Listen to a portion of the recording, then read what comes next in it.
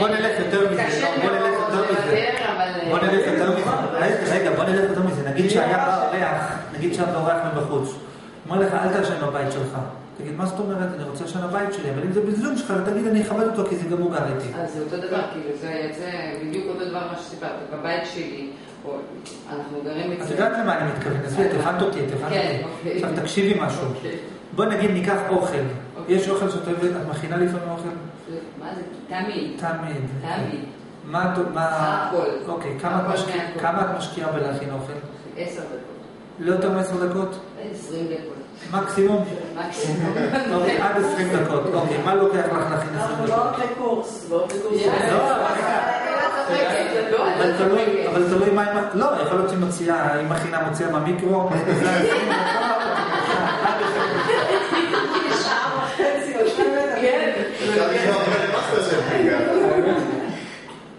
תקשיב, 20 דקות. עשרים דקות. אוקיי, עכשיו, מה מה לוקח לך להכין 20 דקות? מה? מה הכל? לא יודעת, אני לא, לא תני דוגמה. בוא, בוא, אני לא אוקיי. מה את הכי אוהבת לאכול? זאת השאלה שלי. אני אין לי. תקשיבי. אני אוהב אורז, נו, מה זה משנה? נניח אורז, לא, אני מנסה לומר שאיך אתה יודע עד כמה אתה אוהב את האוכל, לפי כמה שאתה מוכן להשקיע כדי להכין אני אותו. יכולה להכין אוכל, מה שבאמת היא שעתיים מכינה, בעשר דקות, באמת, אני אני לא דוגמה. מה הסוד? הסוד זה לא אני. זה כולל גם הזמן של התנור, היא גם גורמת לתנור לעבוד מהר. התנור, היא רק עומדת על התנור נלחץ, ישר... בטורבו. כן, נורא כבר אותה, ישר נשרף מהלחץ. וגם לא מוציא אותו. לא, לא, רגע, אני לא, אני רוצה להסביר משהו אחר.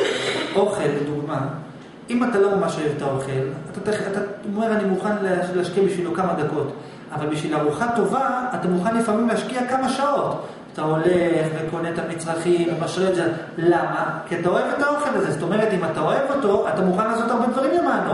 לדוגמה, אנשים כל כך אוהבים לגור מתחת בית שכתוב שהוא שלהם, שמוכנים לעבוד מאוד מאוד מאוד מאוד מאוד מאוד מאוד קשה בשביל שיהיה כתוב שאת רואה את הבלוק הזה, הוא שלך. זאת אומרת, הם כל כך אוהבים את זה, שהם נותנים למען זה המון. זה הרעיון. עכשיו, עכשיו, מי לא עובד בשביל זה? מי שלא חשוב לו. איך אתה יודע כמה משהו חשוב לך? לפי כמה שאתה מוכן להשקיע בשבילו. זה לא, אין פה, זה לא תיאוריה. אתה לא משקיע מאמץ, אז זה לא מספיק לא חשוב לא לך. כאילו? לא, אני אמרתי, זה לא מספיק חשוב לך. השאלה לא היא. כמה. בדיוק. דוגמה, נגיד שיש לך נעליים. יש, דבר, יש דברים שאת מוכנה, נגיד, נגיד, שיש לך, נגיד שיש לך כאבי גב. אומרים לך, צריכה נעליים מסוימות, יכול להיות שאת אפילו תזמיני אותם מחו"ל, ויכול להיות שאפילו תיסעי לחו"ל ותביאי אותם. כי זה חשוב לך. אבל אם זה סתם, את לא תשקיעי. תלוי. עכשיו, עכשיו, נכון? זה תלוי כמה זה חשוב. עכשיו, מתי, עכשיו אני אוסיף עוד דבר. מה אמרנו? שאיך אתה רואה כמה זה חשוב, לפי כמה שאתה נותן. אבל אני אחבר את זה למה שאמרתי לה. כדי לתת למישהו, זה חוויה של צמצום, וזה לא כל כך קל. אני רוצה לדבר על הקטע הזה שנייה. לא, אני- אז אני אגיד עוד משפט שאני אשכח אותו. תכף אה, אני אוקיי, אגיד. גרמתי לו. אתה אם תשכח, זה בסדר. לא. כי אתה כבר יודע את מה שאתה רוצה להגיד. תקשיב, העניין כזה, העניין הוא שאתה יודע שאתה אוהב כשקשה לך, אבל מה שאני מנסה לומר, שהקשיים בכל מקרה קיימים. זאת אומרת, אתה לא צריך להתאמץ להמציא קשיים. זה לא אומר, טוב, טוב, בוא נריב ונראה אם נצליח להשלים אחר כך. זה לא... אומר, בכל מקרה החיים, מפה או משם, יביאו לך איזה משהו קשה. כאילו, זה יכול, זה לאו דווקא בגלל, בגלל האינטראקציה מול הבן זוג, זה יכול להיות גם כן שנגיד אה, היית חולה והבן זוג ביקש משהו. אז אם זה שכן שלך, אם אתה חולה והבן זוג, והשכן שלך יש לו בעיה בבית, אתה לא הולך לעזור לו, אבל אם אתה חולה והבן זוג שלך יש לו בעיה, אז אתה קם בשבילו, בשביל הילד שלך, גם כשאתה עייף, למה? כי- אתה כאילו כל כך אוהב שאתה כאילו מתגבר. עכשיו, וזה בעצם הרעיון. יש רצון גדול יותר, שהוא מקיף אותנו. כן, עכשיו, מה שאני אגיד עוד דבר שאמרתי אותו בפעמים הקודמות, בעיקרון, בעולם אי אפשר לחיות באהבה בלי תנאים מוחלטת. אין אפשרות כזאת, כי אהבה בלי תנאים מוחלטת אתה לא שורד. עכשיו, ולכן אתה חייב להיות בצמצום, בעולם שלנו אתה חייב להיות בחוויית צמצום. ולכן זה אחד הדברים שטובים בזוגיות. כי בזוגיות זה המקום שאתה יכול לבטא בו את זה שבתוך הצמצום אתה אוהב בלי תנאים. אומרת, בעולם שלנו אתה חייב לחיות לפי תנאים מסוימים. זה מותר, זה אסור, זה זה זה זה עכשיו, אז, זה- אז, אבל מתוכך אתה גם רוצה לאהוב בלי תנאים. אז בעיקרון אתה צריך לאהוב בלי תנאים את הכל. אבל אחרי שאתה אוהב את הכל, עכשיו אתה רוצה עוד לאהוב בלי תנאים. בשביל זה זוגיות שיש לך עוד אופציה לאהוב בלי תנאים. מה רצית להגיד? כשאמרת לה לפרוס על השולחן וזה, ואז אמרת. מה לפרוס על השולחן? מה, מה, מה? לפרוס בפניו את הדברים. אה, אוקיי. אז אמרת לו כאילו שנכון, אתה צודק, אתה מצמצם את עצמך. אבל יש פה איזה היפוך יפה. אני, מק... אני מכירה בכך שזה לוקח לך את החופש. כן. יש פה איזה משהו יפה שהסתכלת בדיוק גם באותו רגע. שזה שאתה לא מצ... זה שאתה לא נותן לעצמך לצמצם את עצמך, זה גם לצמצם את עצמך. וזה שאתה מצמצם, זה עצמו ההתרחבות. זה נכון, השאלה היא, מה אמרתי? כמה אתה מסוגל לצמצם את עצמך. ככל שאתה יותר בתוכך באמת משוחרר, ככה קל לך יותר לצמצם את עצמך בחיצוני. אבל אם אתה אומר, אני משוחרר, משוחרר, משוחרר, אבל לא מסוגל לצמצם את עצמי. אז אתה לא באמת משוחרר, זה כאילו איך נדע כמה אתה חזק, לפי כמה מכות אתה יכול לחטוף. איך נדע כמה כסף יש לך, לפי כמה שאתה מבזבז, איך נדע כמה אתה חזק, לפי כמה שאתה יכול להתאמץ בלי לאכול. יכול להיות אומר, תראה, אני מבחינתי יש לי גוף בריא, זה, אבל אחרי חצי שעה כואב לך ראש, אז אתה לא כל כך בריא. וזאת אומרת, זה, זה המבחן, זה המבחן. לכן, לכן, כן. רגע, עוד משפט אני אוסיף. לכן מה שאני מדבר על הרבה אנשים רוחניים, מורים רוחניים, למרות שאני אומר, הם, לא- הם לא הגיעו, הם לא הבינו. למה אני אומר את זה? כי הם נש... הגיעו לרוחניות שלהם ונתקעו שם. הם נגד, הם כאילו לא בעד, אה, לא בעד צמצומים. הם לא מסוגלים להתעניין, הם לא מסוגלים להתעניין בדברים גשמיים, לא מסוגלים לריב, לא מסוגלים לכעוס, לא מסוגלים לשנוא, לא מסוגלים להכיל שנאה. תראו, לשנוא זה משהו מאוד קשה ומאוד אכזרי עבור מי ששונא. כאילו לשנוא מישהו, זה, אתה בעצם שורף את עצמך מבפנים, זה כמו לקחת אש ולשרוף בתוכך. זה מאוד קשה לשנוא. עכשיו, יש אנשים שהם לא מסוגלים לשנוא, כי הוא, הוא לא יכול לשנוא, זה עושה לי רע, לא יכול לשנוא. וזה אומר שהם לא הגיעו לשלמות. כי אנחנו נדע שהגעת לשלמות ביום שתוכל לשנוא ולא לרצות אפילו לברוח מזה. אז אתה בשלמות, כאילו כמה אתה יכול להכיל את ההיפוך. כאילו אם באמת כל כך טוב לך, זה מתבטא בעד כמה אתה אוהב את השנאה. עכשיו, אם אתה כל היום תחפש שנאה, אז אתה כבר לא תשנא. אז, אז זה כבר אין משמעות לשנאה. לכן יש את הסוג של הצמצומים.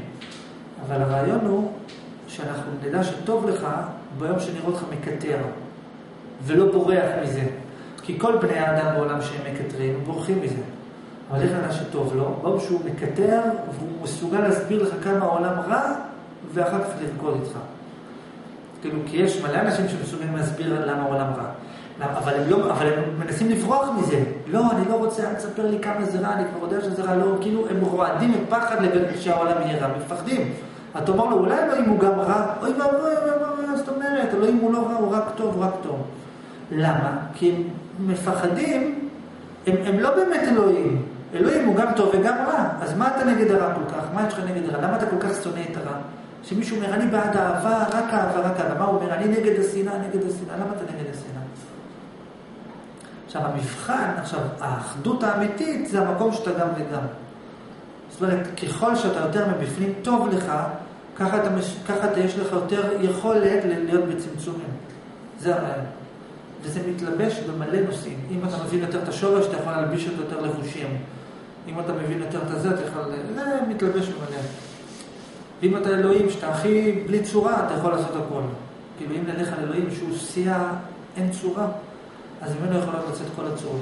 מה רצית להגיד? ל... אליה. היא אמורה לאהוב אותו כמו שהוא. אם היא אוהבת אותו, אז נכון, היא אז אמורה זה- לקבל אז אותו נכון, כמו שהוא. נכון, כי עכשיו- הוא זה מה שהוא. נכון, עכשיו, אם היא רוצה שהוא יהיה משהו אחר, זאת אומרת, היא רוצה שהיא לא שהוא אוהבת אותו בן איכשהו, אדם. נכון, נכון. אז מה היא עכשיו- אמורה לעשות? עכשיו אני אתייחס לזה. גם היא הזכירה את זה קודם, ואני לא בדיוק התייחסתי. תקשיבי משהו פשוט. מצד הפנימיות, אני אחזור על זה עוד פעם, את אמורה לאהוב את כולם איך שהם. את אמורה כל כך לאהוב את המציאות, שאם את רעבה, את אומרת, אני אוהבת את המציאות איך שהיא, אני לא רוצה לאכול. אוהבת בלי תנאים את הכל. עכשיו, הרעיון הוא שאם את אוהבת את כולם כפי מה שהם, אז את כבר לא נמצאת בזוגיות. כי למה אני אוהבת אותו יותר ממנו? את כולם אני יכולה לאהוב איך שהם. אם את, תראי, בתוכך יש מנגנון שמסוגל לאהוב בלי תנאים.